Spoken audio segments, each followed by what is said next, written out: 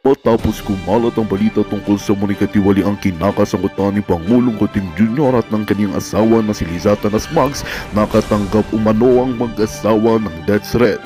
Ayon sa mga ulat, ang pagbabantay dumating kasabay ng sunod-sunod na aligasyon ng pag-abuso sa kapangyarihan at maling paggamit ng pondo ng gobyerno.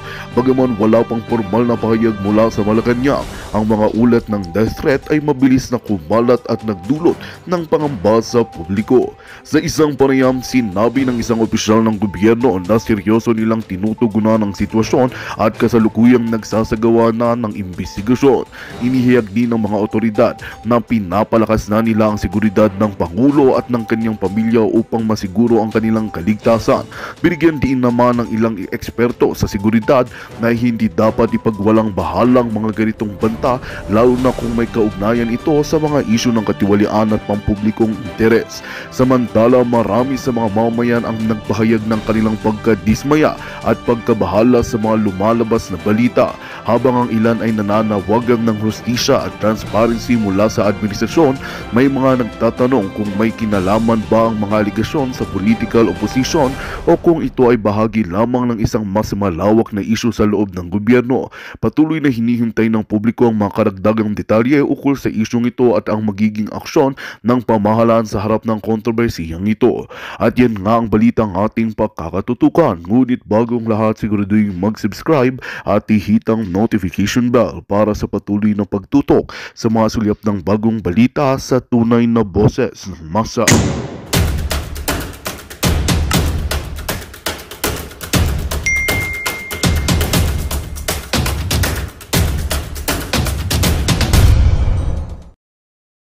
Actually, sabi ng puting aras ko, pwede ba, huwag mo nang sabihin yan.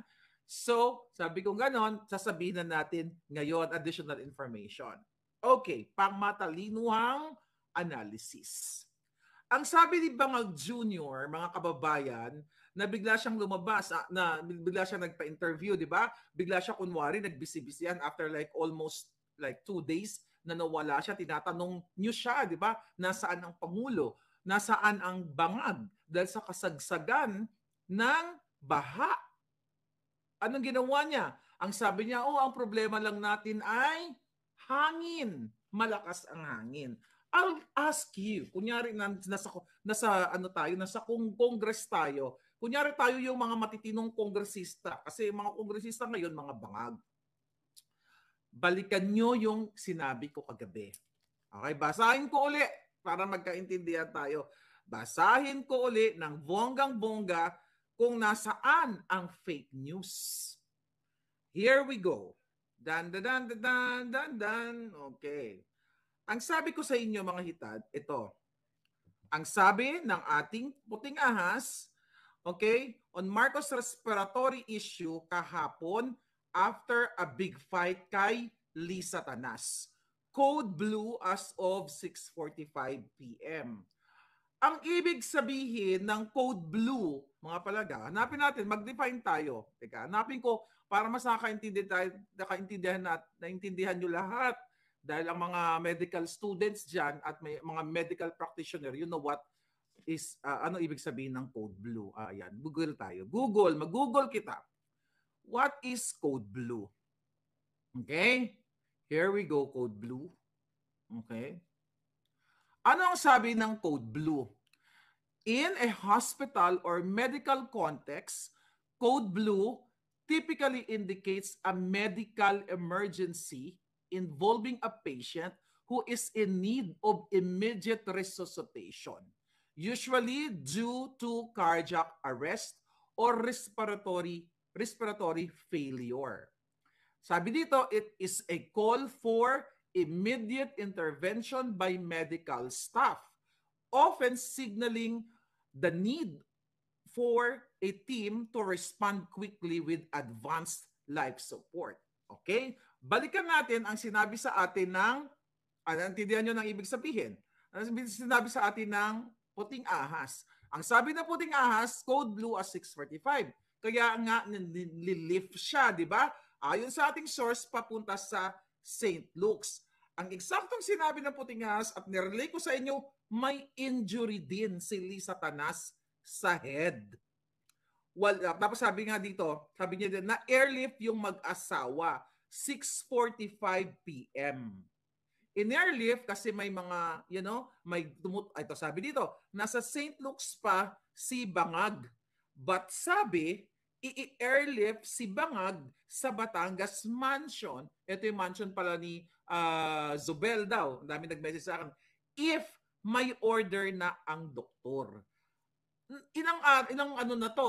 Na uh, ano na ako lost track of time na ako. Ilang ano na to? Ilang ora ilang araw na to? Isang araw may higit. More than 24 hours na itong vlog natin. 24 hours. So ito nung binlog ko ito like 7 hours. Sabi ko sa inyo 7 hours ago so plus 24 so that is 1 day and 7 hours okay kasi around this time din tayo nag-vlog sabi nga dito paki-correct lang po na may lumabas na hindi po tinuhod si Lisa Tanas. Hinampas po siya ng cellphone sa ulo. Okay? Alright. Sabi dito, ayan, hinampas ng bonggang-bonggang. At ang sabi na dahil narinig ng mga puting ahas, hindi lahat, ng PSG, ng mga staff na nagkagulo, ang, ang nagkagulo ang uh, Coca-Cola addict o pulboronic na mag-asawa, mga kababayan, ay lumabas si Lisa Tanas na duguan o tumutulo yung dugo ayon sa ating source, mga palangga, at nagpatawag nga ng PSG para i-airlift sila papunta sa St. Luke's ayon sa ating Juting Jahas. Okay? Ang sabi nga dito, kumakalabog, sabi ganun. Kumakalabog po, sabi ganun, mu puro mura ang naririnig. Lumabas si Lisa Tanas tumawag ng PSG. Tapos Lisa Hablad, bangag sitting on the chair na color blue. Okay? Galit siguro or hirap huminga. Okay? Nabalikan natin yung meaning ng code blue. Di ba? Ipinaliwanag kanina, ito ay pwede uh, ginagamit sa uh, hospital setting or medical context in case of emergency situation na kailangan i-resuscitate or i-revive ang isang taong nag-blue o nahirapan huminga. Hindi ibig sabihin na ang taong nag-blue o nahirapan huminga ay sick. Meaning sick. Oh, sige, mag-ano tayo, mag-sick. What is the difference between sick and injured? Okay? Sick and injured. Okay, tingnan natin para magkaintindi. Kasi doon tayo pupunta sa sinasabi ni Bangag. Ang ibig sabihin ng sick o may sakit, sabi dito, the term sick generally refers to a state of illness or being unwell. It can describe a range of conditions from mild symptoms like cold to more serious health issues.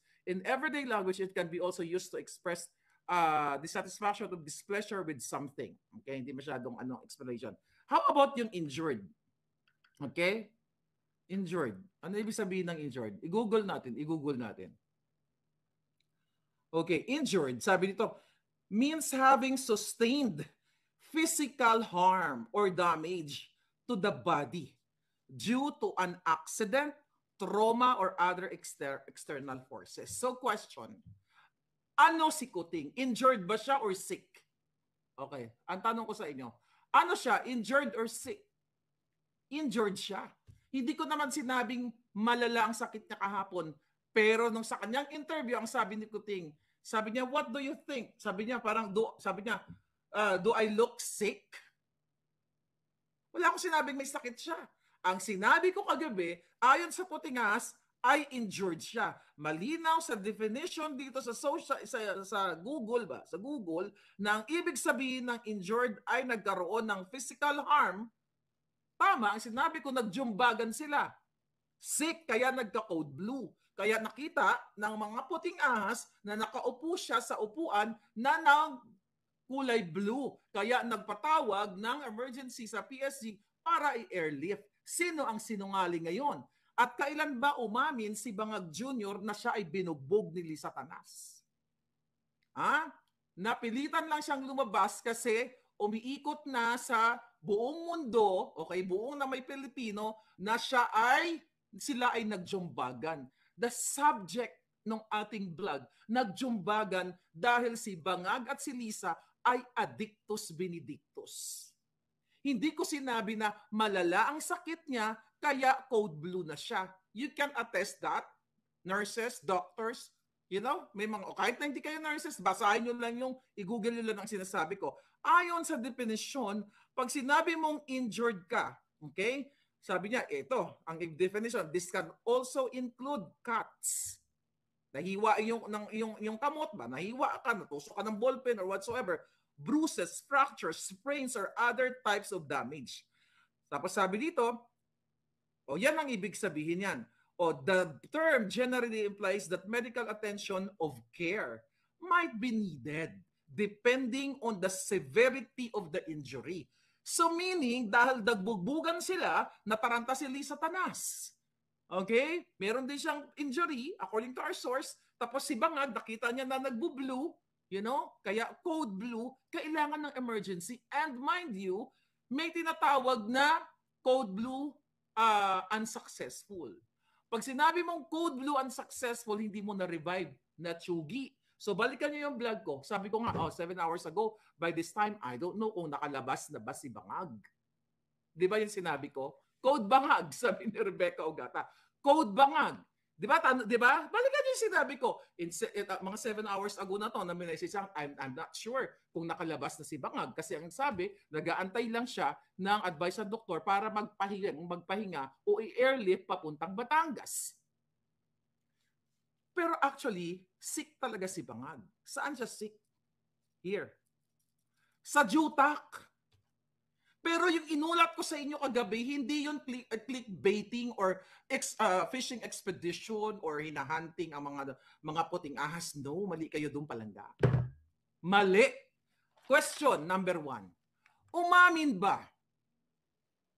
Okay, jury, yung, yung, yung report natin kahapon, hindi sa sick yung particular na subject na pinag-uusapan natin. Kaya i-differentiate nyo. What is the differ- difference between sick and injured? Kasi obvious na nagsisinungaling siya doon sa kanyang interview. Sabi niya, oh, do I look sick? Dapat ang tanong niya, do I look injured? 'Di ba? At you guys failed. The the the mainstream media eh you know kasabwat, 'di ba? Oh, dapat ang tanong ninyo, oh, nagbugbugan daw kayo. Sinapak ka daw, nag-gold blue, nagkulay blue ka, at in-airlift ka. Bakit hindi niya masagot yan? Never ever aaminin ni Bangag eh yun nga lang, nung September, nung sinapak siya ni Lisa Tanas, nagsapakan sila dahil, nandito yan sa book ni Attorney Vic, actually, na pinirmahan ni Bangag Jr., kayo get your book, okay? Uh, ni Marcos Jr. nung September ang ang uh, appointment ni uh, Vic Rodriguez as Chief of Staff. Bug, sinapak ni, bang, ni Lisa Tanas si Marcos Jr. kaya nagkaroon ng injury nagkaroon ng bruises. Saan po galing ang information yan?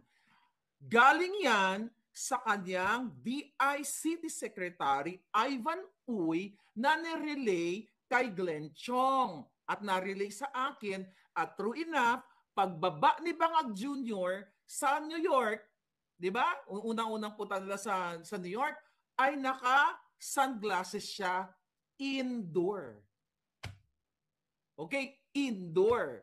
Kailan ba umamin ang sick here sa Jutak si Bangag Jr. na sila ay nagsapakan? mag expect ba kayo na aaminin nila na ay oo, nagsapakan kami ni Lisa kasi bangag na bangag kami sa pulburon. Diyos ko naman, mga palangga. Di ba? O, kailan ba, ito, another binabalikan natin tong issue. O, kailan ba ni aaminin ni Lisa nung siya ay bangag na bagag sa alak doon sa Baguio na siya ay nalaglag sa hagdan. Sino ang puting ahas? PSG at ang iba sa kanila noon pa ay pinagtatanggal na ni Lisa kasi ni Lisa Tanas at ni Bangag Jr. dahil itong ibang mga PSG inuutusan ni Lisa Tanas ni Bangag Jr. na mangolekta ng bribe money o ng nakaw sa kaban ng bayan dyan sa pagkur. Aamin ba yung mga buwaka ng inang yan? Hindi. So sino ang sinungaling? Etong mga jutang ginemis na yan, oh, Actually kakausap lang namin ng ating ano, ang ating uh, St. Luke ano, puting ahas. Sabi ganun, Miss Maharlika, hindi kami pwede magbigay ng komento. Okay? Pero Yes, may na-airlift po. Ay, oh. Sabi ni Virginia Malone sa nakakalungkot, buhay pa. Hindi niya ba napansin? Maraming nalungkot na buhay pa si Bangag. At ngayon, nagpasikat ang gago, di ba? Ay, nagpasikat, nagpakalat ng sinungalingan, pa-video-video sa taas ng, ng, ng ano ng uh, helicopter. Wala sa sa ground. Habang kayo ay lumulubog sa baha, lagpas tao ang inyong mga bahay, then patuloy pa rin kayo sa pagigi, pag-deny ninyo na kayo ay nabudol. But again, it's not my life, it's your life. Kung nag enjoy kayo na ang lagpas tao, na, na, na baha na lahat ang inyong mga important documents and everything, then it's your life, mga darling, mga palangga. Another issue na binalikan ko. Okay? Naalala ninyo? Yung sinabi ko sa inyo na si Lisa Marcos ay nang dura. So para ma-remind ko yung information, tinawagan ko yung puting ahas natin dyan. O Lisa Tanas, hindi naman nila iulat sa inyo, no? Nag, sa inyo, nagjumbagan sila, nag, iulat ba nila sa iyo kung nag-swing sila o nagtsoktsakan sila ng groupie? ah, sige nga, hindi nila iuulat yan. Saan natin nakukuha ang mga ulat na ito? Sa ating mga footing jahas. Alright? So na-force lang si Kuting, dapat maghilay-hilay anay siya, hayaan niya muna kayo, matulog muna siya sa bagyo, pero dahil nag-circulate na ito sa buong kapuluan, na siya ay maaring dead na, kailangan niyang lumabas. Nasira na naman ang kanyang trip na magpahuway-huway. And even si Liza Tanas ay na-forced. Nag, nag-post na naman ng, I don't know, hindi natin alam kung September 3 ba talaga yan. Anong date na ngayon? September 4, yung tong, may picture-picture sa kanila. Paano mo pagkakatiwalaan na nagsasabi ng totoo mga put, mga buwaka ng Genemis na ito? Eh, ang picture ni Lisa para siyang payat, para siyang tingting. Tapos sa actual, yung mga kurubot niya dito, dahil sa alak, sa droga, talagang para mga spider, yung kanyang mga galamay dito, ganyan, ganyan. Kayang burahin ng Photoshop. Maniniwala kayo dyan. Nakita nyo, ang dami na, kayo mga bangag kayo dyan sa Kongreso at Senado, nakita nyo, pag nakita nyo si Lisa Tanas, ang kanyang, ganyan, parang, grrr, in fairness. Okay? Ako wala akong kulubot, ha? Oh. Kahit ako ay mag-golden anniversary na. Hoy, wala akong kulubot kasi walang ano yan, walang procedure yan ha. In fairness ha, kaya nga sabi ko pa forever young yata ako. O di ba? Wala kasi akong bisyo. Ang bisyo ko lang ay mang boljak na mga buwakan ng ina. Okay? Paano mo paniniwalaan na walang bugbugan? Oh, wala naman siguro nandiyan sa ulo, ganyan. Eh, butang ina, ang kulubot nga eh. Rrrr, nawala sa Photoshop. How much more yung distant, yung picture from afar, 'di ba? Matanggal pati bukol, 'di ba? Know what I mean? Tatakpan ng bonggang-bongga. But again, mga kababayan, paano mo pagtitiwalaan si Bangag Junior na hindi siya sick? Sick siya dito. Hindi ba siya sick na sinasabi niya 5,500 flood control? meron tayong 5,000, 5,500 flood control. Okay? Napoprotekta sa mga baha, mga bagyo, eklabush. After two days, boom. Wala palang flood control. Sino ngayon ang fake news? You ask yourselves, mga darling.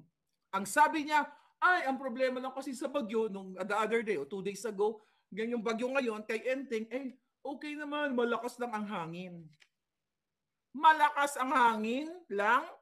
Hindi niya nakikita yung mga overflowing na mga dam, yung mga baha, di ba? Lagpas tao, second floor, third floor. Sino ngayon ang fake news? So according to our source, tinanong ko nga, sabi ko, may ano ba, may uh, bago ba tayo? Ma'am, sabi ko, napilitan lang lumabas sa mga bangag. Pero yeah, it's A1 information. Hmm. Oh, Ah, si JM, JM, nanonood ka, thank you. Sabi ni JM. Ah, ito, nagbigay ng ano, definition. Sabi ni JM, Code blue means medical emergency for adult persons. In Bangag's case, pwede siyang i-consider na code blue dahil status niya as a president or code name, code 1. Pwede talaga gamitin yung code blue dahil siya yung pinaka most important person sa Pilipinas. Kahit ako ang hospital director, ng St. Luke's, mag-declare talaga ako ng Code Blue dahil presidente ng Pinas yung may need of emergency assistance or during that time under trauma due to asphyxia. Exactly. Difficulty of breathing. Kaya sabi ko, asystole na ba? Flat na ba yung, AK, yung EKG niya? Tama ka, JM. Pero again, you know for a fact na itong pamilyang ito sick here. Dito. Dito sick. Hindi ba sick yan sasabihin sa inyo, pag ako na po, 20 pesos na ang bigas. Nangyari ba? Buang lang ang pwedeng mangako sa inyo. Sama-sama tayong babangon muli. Unity tayo. Ayan, si Inday Sara pinuntahan sa Davao and everything convinced dahil continuity, you know, build, build, build. Ano ano yan? Hindi ba sick yan dito? Hindi yan pangbangag yan. Sabi mo, unity. Tayo ay pagbutihin natin ang bayang Pilipinas. Tapos ang ginawa mo, nag-focus ka sa pagiging mafia. Is that normal? Hindi. Ibig sabihin, sick ka dito. Okay? Sick ka. Oh, sabi nga ni Palanga, ni Glenn, ah, Kiselma, physical appearance si bangag, bloated face, and hand, may, may illness siya aside mentally. You, you'll, you know, you'll never know. But we're talking about doon sa expose natin na code blue. It's true coming from our A1. Hindi aamin si Bangag. Harap-harapan na nga. Okay, harap-harapan na nga yung kasinungalingan nila.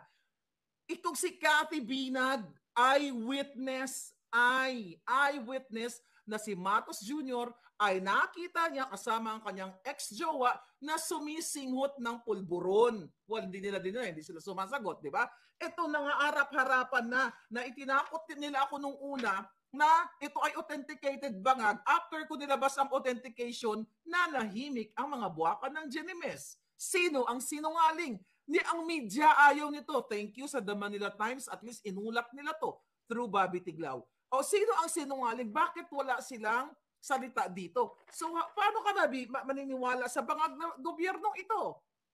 Oh, sabi ni Shem, yeah, ang Pilipinas ay code blue na. Yes, kailangan yung, yes, that's true. I like, I like that. I like that comment palangga.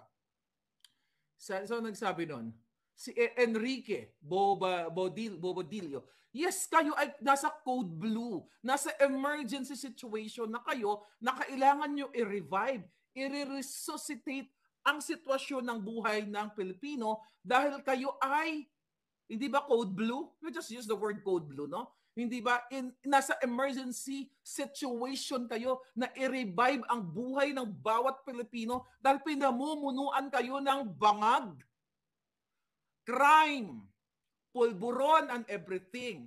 Pag nanakaw sa kaba ng bayan, yan dapat ang inyong asikasuhin at hindi ka maniniwala sa mga buwaka ng inang mainstream media na kasabwat na sinungalingalan ni Bangang Junior ang mga kipay nila, ang mga bunganga nila sa ngala ng salapi para hindi iulat ang kabot-kajotahan at kasinungalingan ni Lisa na kidnapper siya.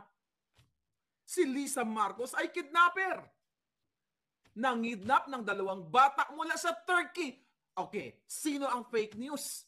Bakit walang reaksyon, walang pagbabalita sa mainstream media? Sino pala na ang bunganga nila? Si Lisa Marcos ay kidnapper. Master, uh, what do you call it? uh, mastermind. Okay? Oh, bakit si Teddy Boy Locsin tahimik nakipagsabuatan sa kidnapper kasama yung asawa niya? Sino ang fake news?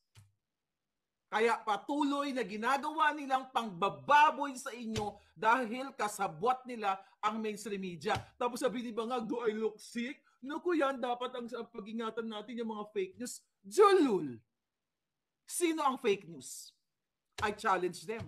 Lisa Tanas, Marcos Jr., file a case na sinabi ko, ikaw, bangag, ang asawa mo, ang administrasyon mo ay kidnapper.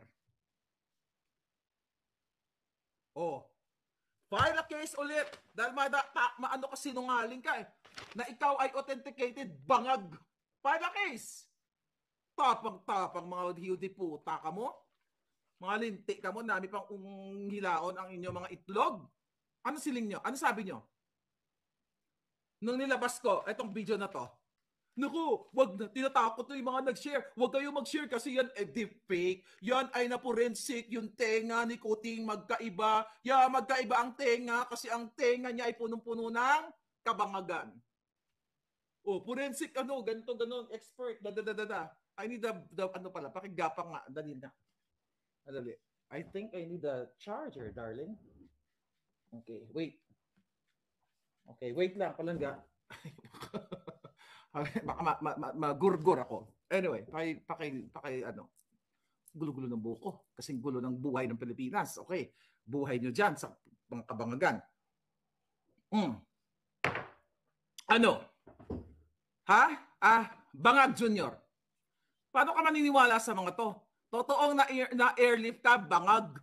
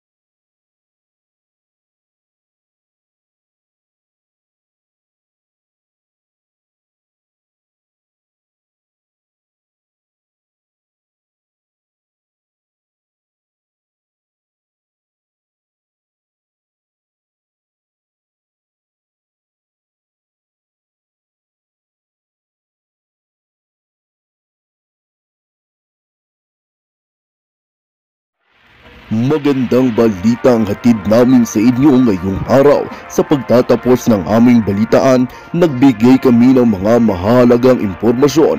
Maraming salamat sa pagtutok at pagsuporta sa aming programa. Huwag kalimutang manatili sa mga susunod na araw para sa mga bagong balita at mga kwento na dapat nating abangan.